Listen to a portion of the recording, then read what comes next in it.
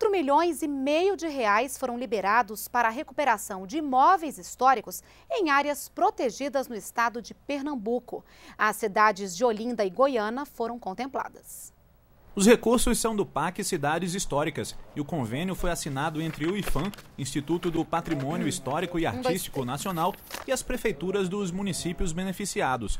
Os 4 milhões e meio de reais vão ser liberados em um prazo de dois anos e vão ser destinados à concessão de financiamentos para a recuperação de imóveis privados em áreas protegidas pelo governo federal.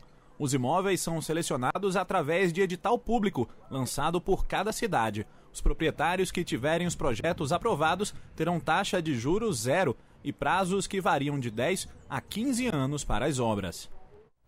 Desde o ano passado, a partir de parcerias entre o IFAM e o Banco do Nordeste, já foram firmados convênios similares com as cidades cearenses de Aracati, Fortaleza, Sobral e Viçosa do Ceará, além de João Pessoa, na Paraíba. Municípios de Alagoas, Piauí e Bahia também devem receber os recursos.